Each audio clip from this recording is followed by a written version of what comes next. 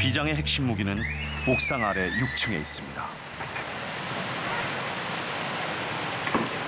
So welcome in our fish room.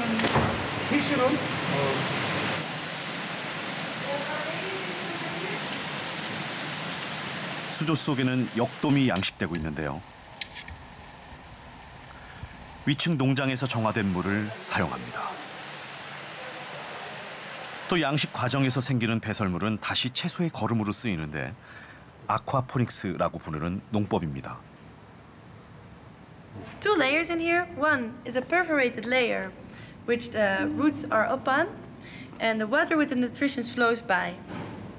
The water that they don't drink, they will go down through here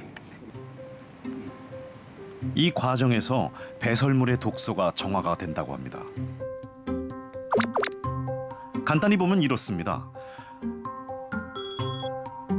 물고기를 양식하면서 발생하는 배설물은 식물의 비료가 되고 이 과정에서 암모니아 등 독성이 제거된 물이 물고기 양식에 다시 사용되면서 순환한 겁니다.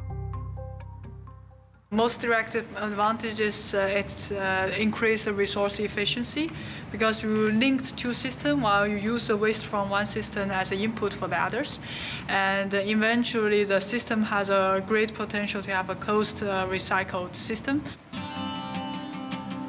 땅값이 비싼 도시에서 옥상이라는 버려진 공간을 이용하고 효율적인 재배 방법을 찾아낸 건데요. 1,500평방미터의 공간에 토마토와 상추 등 재배되는 작물만 15가지가 넘습니다.